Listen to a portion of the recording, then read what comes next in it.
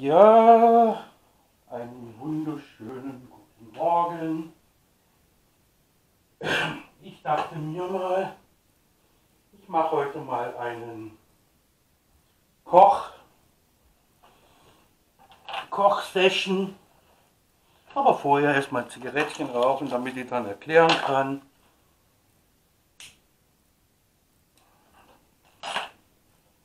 Ich werde heute etwas, was machen wir denn am besten? Genau, was Indisches. Da arbeite ich dann.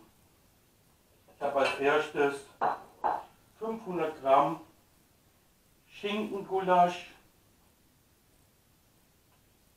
Das werde ich dann vor die Kamera zeigen. Schinkengulasch, das habe ich eingelegt mit Curry, Knoblauch und Salz.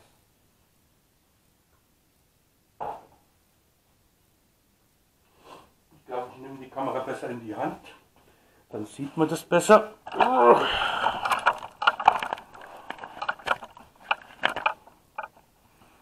Ja, genau. Jetzt. Dann habe ich ein Glas Bambus, eine Salatgurke ausgehüllt, eine Packung Champignons braun, klein geschnitten. Dann habe ich hier die Paprika, zwei große Zwiebeln, klein geschnitten. Als Gewürze stehen hier einmal grüner Curry, einmal Garam Masala, da steht das, einmal Eiwa und dann hier hinten die Kokosmilch und natürlich auch Kümmel, den muss ich aber noch holen, den habe ich hier bei meinen ganzen bei meinen ganzen Kräutern hole ich den jetzt mal schnell. So, jetzt. Weil ich ja zwei verschiedene Arten dann mache. Das, was ich jetzt gezeigt habe, ich zeige es nochmal,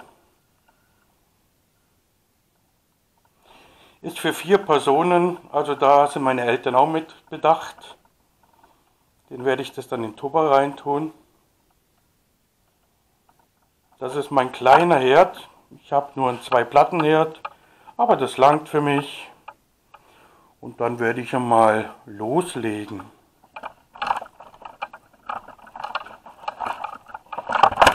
So, die Kamera jetzt erstmal positionieren.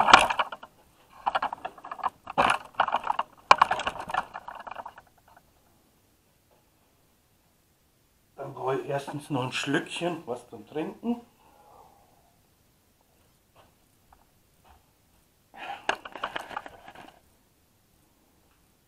Ja, sehr gut. Ich erhitze. Ich fange mal mit einem Topf an.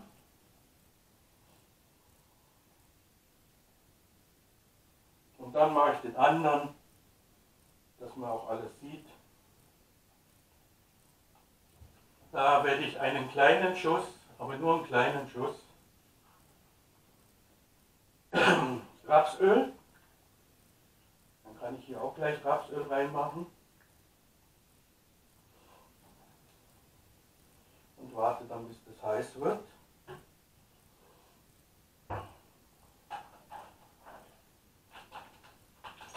Klar, jetzt wissen wir nicht genau, weil ich ja Pi mal Daumen koche, zeige ich dann, äh, wie viel Gewürze ich rein tue. Äh, und dann macht sie das einfach nach und das wird auch gut schmecken. Dann habe ich noch hier Ras El Hanout. Da tue ich auch ein bisschen was rein. Das ist so ein arabisches Gewürz. Und statt Salz, ich werde jetzt keine Werbung machen, nehme ich ihr Suppenbrühe, aber ohne, äh, ohne Geschmacksverstärker. Ich fühle mal, na ist noch nicht so weit.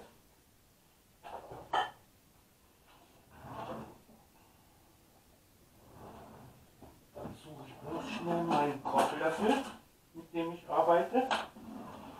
Der schaut zwar schon ein bisschen ramponiert aus, aber mit dem koche ich am liebsten. Ich hoffe, dass mein Akku auch dann so lange so lang hält.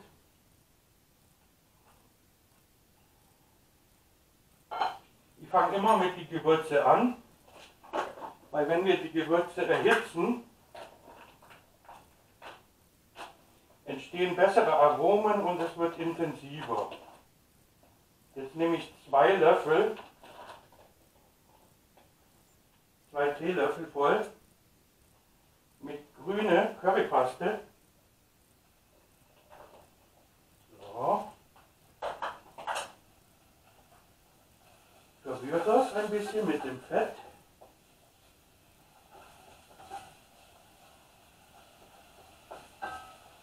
Die grüne Currypaste, die ist nicht zu scharf, also dann kann man ruhig schon zwei Löffel reinhauen.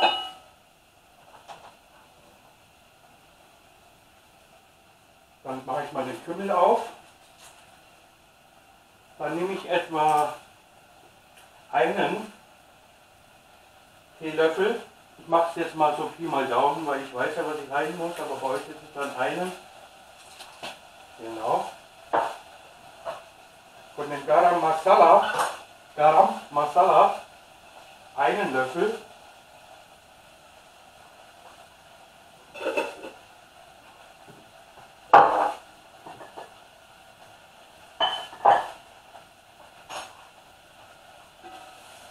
Andünsten ein bisschen mit dem Öl.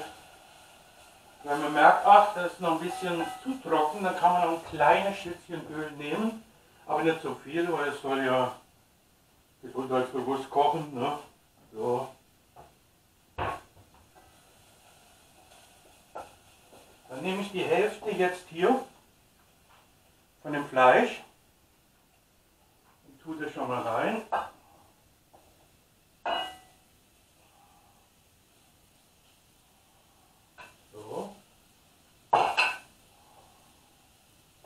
Dann lasse ich das ein bisschen anbrateln.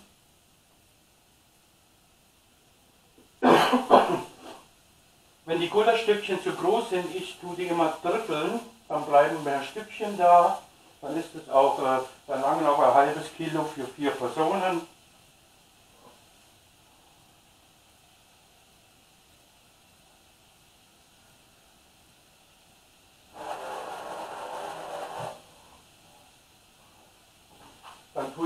bisschen Fischsoße rein. Das ist diese Soße, Tintenfischsoße. Die schmeckt sehr gut anstatt Salz.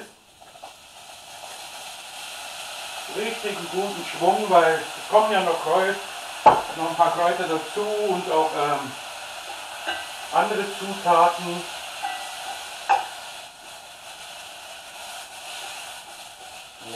schön verteilen.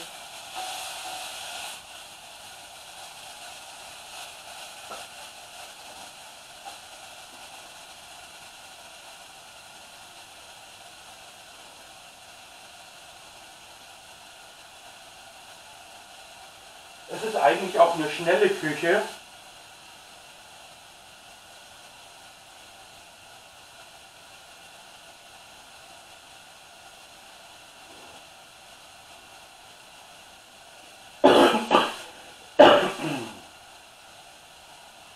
dadurch, dass es ein gusseiserner Topf ist, muss ich da ein bisschen mit, mit einem Handtuch arbeiten. Oh, diese Gewürze, herrlich. Ich brauche noch keine Feuchtigkeit reintun. Das muss bloß kurz angebraten werden. So. Jetzt habe ich hier meine Zwiebeln. Das sind zwei große Zwiebeln in halbiert und in Scheiben geschnitten. Da tue ich etwa die Hälfte rein. So. Durch die Zwiebel entsteht ja dann eh dann beim Anbraten im Saft. Aber es ist schön, wenn das Fleisch keinen Bratensaft rauslässt, dann bleibt der ganze Geschmack im Fleisch. Das Fleisch habe ich vorher äh, einen Tag zuvor gemacht und schön eingelegt, damit, die, damit auch äh, die Kräuter gut reinziehen. Da habe ich reingetan ein Löffel Knoblauch, Pulver und ähm, ein Löffel Curry und, und einen halben Löffel, ähm, würde ich mal sagen, Esslöffel Öl. Jetzt brate ich das mit den Zwiebeln an. Dann als nächstes nehme ich die Hälfte vom Paprika. Ich habe so Paprika-Mix genommen.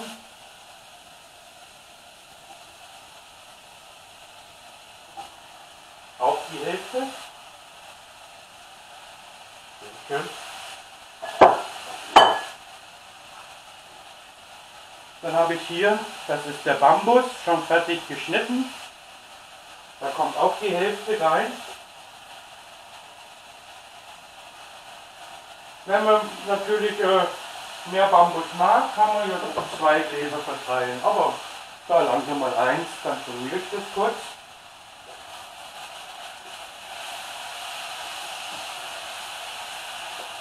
Oh, ein Duft.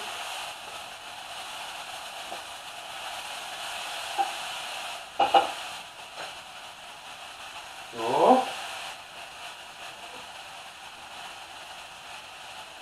Hier, die mache ich jetzt mit Champignon und die andere mache ich ohne, weil es gibt ja auch Leute, die vielleicht keine Champignons mögen.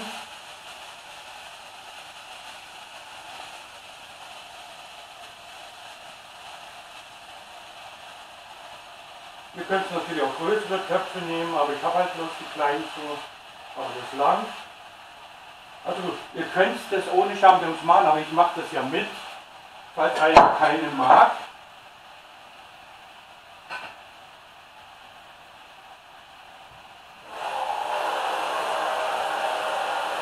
Dann nehme ich etwa ein Glas Wasser, das sind so 200 Milliliter, schütte es so hier oben drüber. So, jetzt kommt statt Salz meine gekörnte Brühe. Weil ähm, bei Salz ist es so, wenn man einmal versalzen hat, dann ist es versalzen, dann kann man nichts mehr machen. Außer man kocht Kartoffeln oder Nudeln, die ziehen ein bisschen das Salz raus. Deswegen nehme ich Brühe, wenn es dann zu viel ist, kann man es immer noch ein bisschen verdünnen. Dann nehme ich einmal zwei Teelöffel Brühe.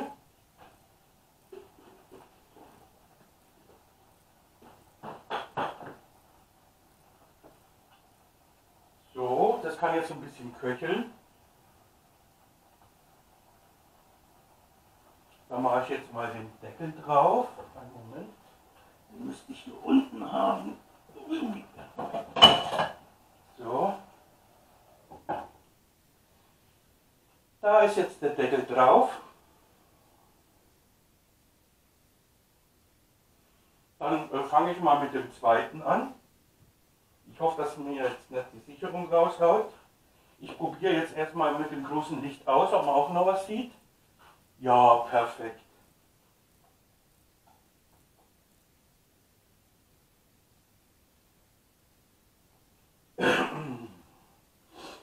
Da genauso, da habe ich schon das Öl reingetan, einen kleinen Schuss Öl. Das lassen wir jetzt heiß werden.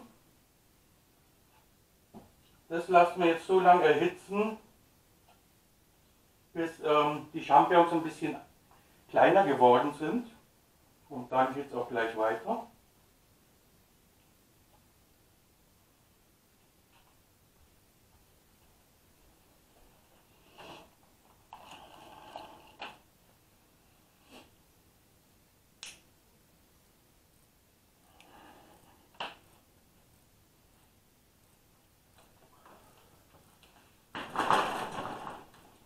Beilagen werde ich äh, noch nicht machen, weil ich das ja erst dann am Mittag äh, essen werde.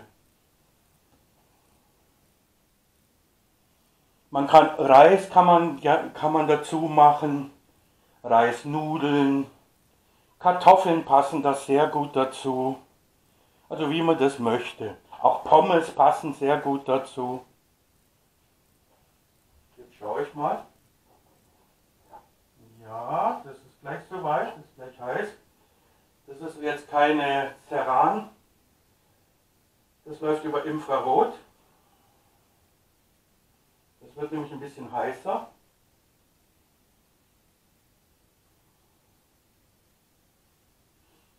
Und falls noch Fragen auftauchen, ihr wisst mich ja zu finden. Vielleicht kann ich das kleine hier anmachen, weil das hat nämlich nur 9 Watt. Ja, dann ist es etwas besser. So, jetzt nehme ich das restliche Fleisch.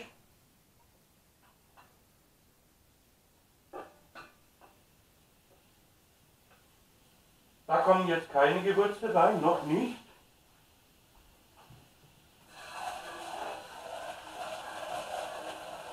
Und das andere tue ich schon mal gleich ein bisschen auswaschen. Mit heißem Wasser spülen. So.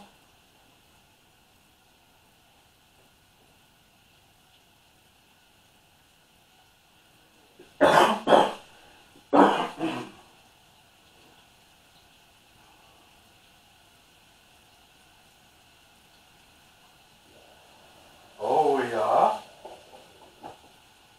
Euch dann nachher gleich.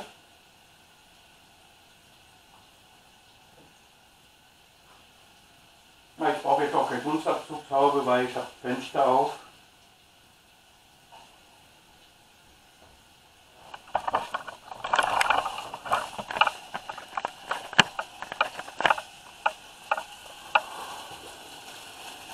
Da köchelt das schon mal schön vor sich hin. Lecker schmecker. Hier brät das Fleisch schön an.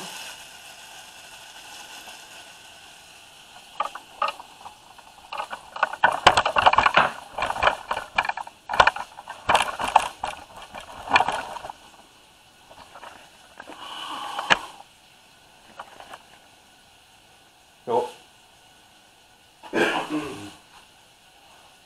Dadurch, dass ja das Curry, weil es soll ja nicht beides gleich schmecken, ne? So soll das oft dann sein. So. Dann hier aber auch ein bisschen Fischsoße rein. Dann kann man schon richtig gut reintun.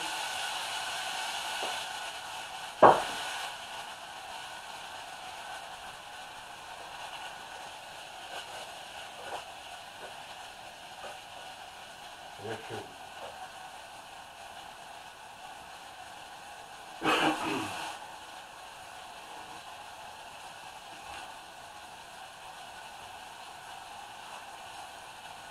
Dann kann ich hier schon mal die restlichen Zwiebeln rein.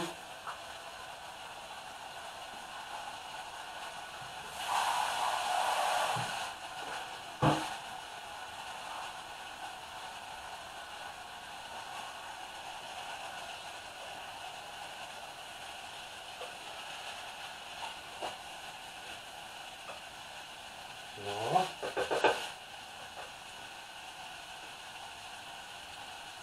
Der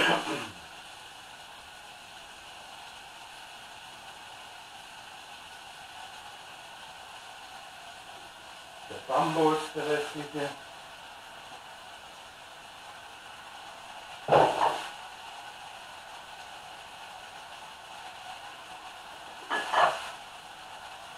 Paprika.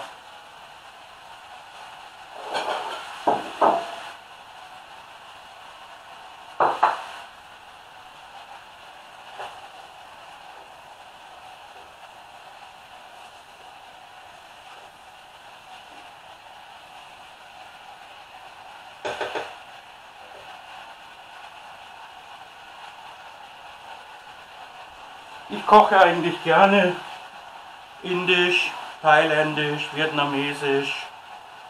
Das ist auch so eigentlich meine meiste Küche, was ich mache. Na, natürlich auch national wie Knödel und sowas oder Schwäbisch, Käsespatzen und so weiter und so fort.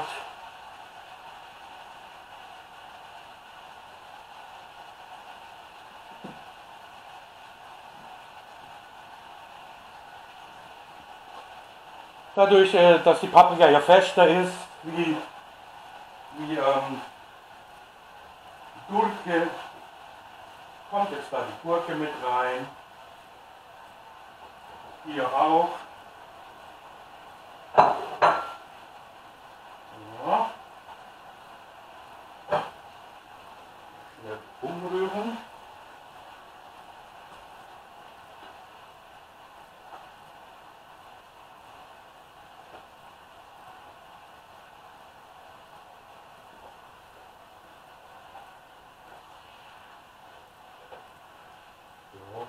Hätte natürlich auch eine große Pfanne nehmen können, aber dann hat, äh, haben die beiden Töpfe keinen Platz drauf.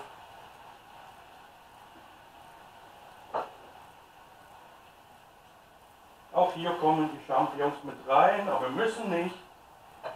Wer keine mag, muss auch keine reintun. Dann mache ich den Deckel wieder zu. Hier natürlich auch. In der Zeit, wo das dann köchelt, dadurch, dass ja kein Fett auf den Tellern sind, wo ich die ganzen Beilagen jetzt oben hatte, brauche ich die bloß mit warmem Wasser abspülen, abtrocknen. Wer natürlich eine Spülmaschine hat, ist auch nicht schlecht.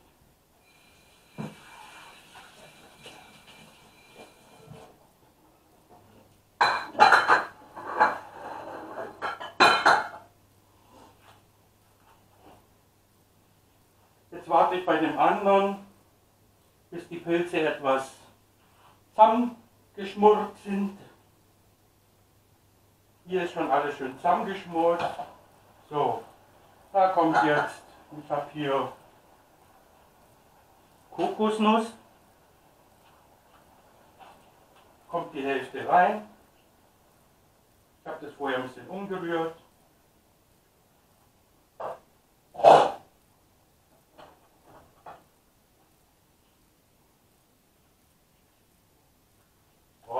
schon eine schöne Farbe.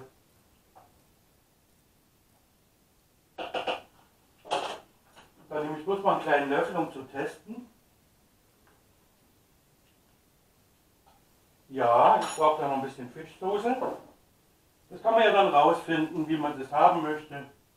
Ich brauche auf jeden Fall noch eine. Da kann man schon richtig gut rein, weil es ja auch nicht so wie Salz.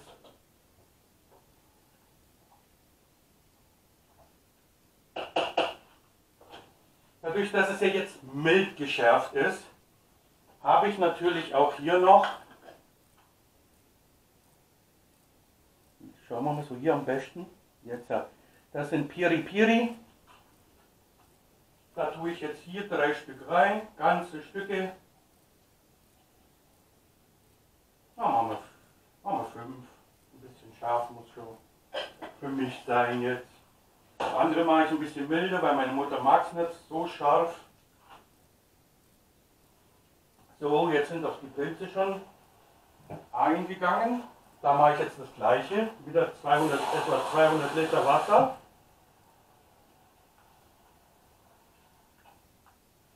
Weil ein bisschen Soße soll ja auch mit dabei sein.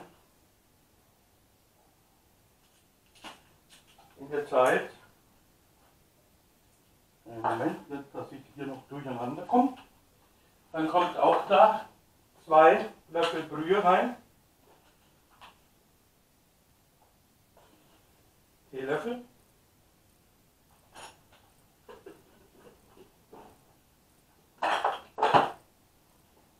Dann untermenge ich das mal schnell.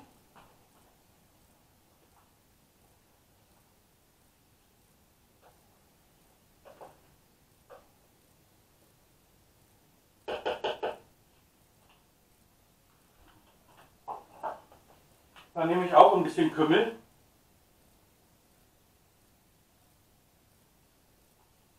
Ein bis zwei Teelöffel. Ich mache das wieder frei Schnauze. Weil Kümmel gibt einen richtig guten Geschmack. Außer man mag keinen Kümmel, kann man ihn weglassen. Und jetzt köchelt das erste Mal so eine gewisse Zeit, ich würde mal sagen 20 Minuten vor sich hin. Und dabei mache ich jetzt eine Pause und dann gibt es den zweiten Teil.